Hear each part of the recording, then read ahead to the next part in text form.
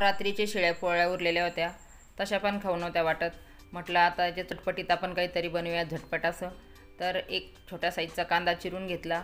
तो थोडासा लाल होईपर्यंत परतवला. दोन चार मिरच्या मिक्सरमधून थोड्या आबडधोबड काढून घेतल्या. थोडीशी आबडधोबड शेंगदाणे काढून घेतले आणि छान अशी फोडणी देऊन घेऊ लागले. थोडीशी जिरे एक चमचा जिरे एक चमचा मोहरी टाकून फोडणी करून घेत आहे आता.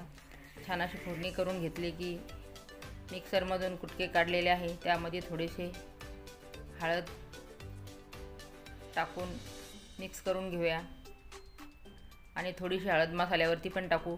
थोडंसं चवीनुसार मीठ टाकू. पोळ्याला मीठ असल्यामुळे चवीनुसारच मीठ टाकूया. आणि छान असं परतून थोड्या वेळ झाकण ठेवूया. आपले गरमागरम खमंग असे